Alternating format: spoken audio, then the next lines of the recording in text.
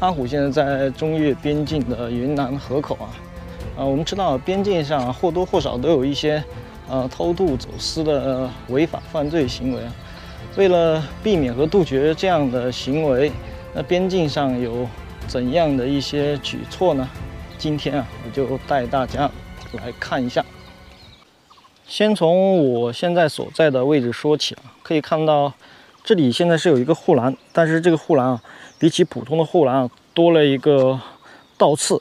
这些倒刺呢，就是呃我要介绍的今天的第一个啊，边境上防止偷渡走私的措施啊，就是在一些敏感地段装一些这些阻碍啊偷渡走私的人员的设施。呃，前面的这条河啊，就是中国和越南的界河南溪河了。河流的对面，可以看到。那种有明显的越南风格的建筑啊，那就是对面的越南城市老街的郊区了。这个河水啊，看上去非常的碧绿清澈啊。环境虽然非常好啊，但是以前啊，这个地方或多或少的还是存在一些偷渡走私的违法犯罪行为，所以在这个地方呢，就装了非常多的这样的倒刺啊。除了给护栏上装倒刺以外啊，呃，像这个比较古老的墙面啊，上面，呃，用水泥啊浇筑了这样的玻璃啊，也是用来防止偷渡走私的。这个地方是有一段啊装了倒刺的隔离墙啊，这个是呃因为之前下雨的时候啊，这个地方滑坡啊，所以就把这个呃墙给冲毁了，所以。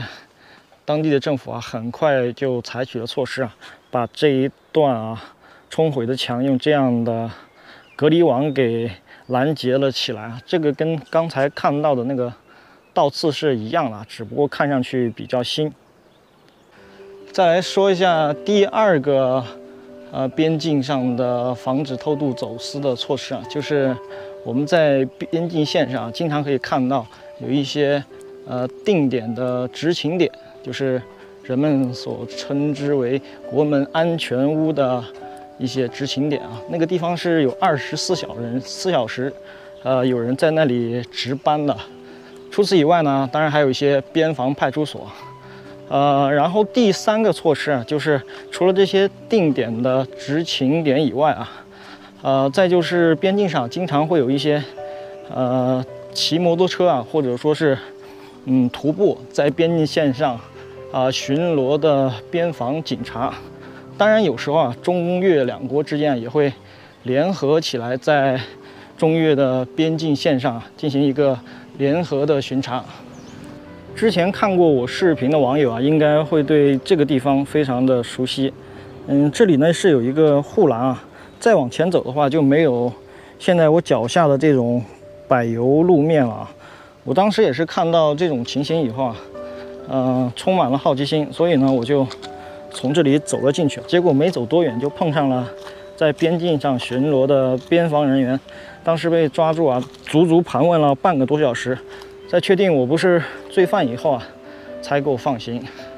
后来了解到啊，由于这一段啊，它离这个边境线啊实在是太近了，这里就是界河了，对面就是越南，而且这个地方看上去啊，草木茂盛，似乎。呃，确实是一个对偷渡走私人员非常有利的一个犯罪场所。不过，这个地方虽然看上去杳无人烟，但是边防人员的巡查力度还是很大的，不然不会有上次啊我被抓住啊足足盘问半个多小时的状况。第四项的防控措施啊，就是我们在边境线上经常可以看到啊有一些。监控摄像头，这些监控啊，也是中国天网系统的一部分。虽然中国的天网系统很多年前就已经上线了，但是这套系统的技术啊，仍然在不断的升级换代当中。据说现在天网系统啊，最新的一项技术啊，就是不需要看这个人的面部特征啊，只要通过他走路时的步态啊，就可以确定这个人的身份。再来说一下第五项举措啊，这项举措呢和当下的疫情防控啊也有很大的关系。就是最近啊，我们在边境上可以看到有一些通知，呃，如果说当地的居民啊，呃，发现有一些涉嫌偷渡走私的人员啊，如果将这些线索啊提供给公安的话啊，就有机会获得最低为一千人民币，最高甚至为数万元奖金的一个奖励。这项措施啊，我觉得有一点发动群众的意味在里面啊。最后来说一下第六项举措，也是最后一项举措。啊，说这一项举措之前呢，我首先要给我们的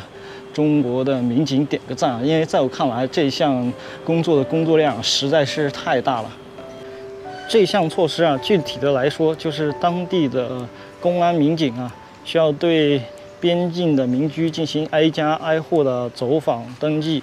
啊，以防止啊这些偷渡走私的人员隐匿在普通的民居当中。而我呢，也有幸成为了。被走访的对象，这个通告是，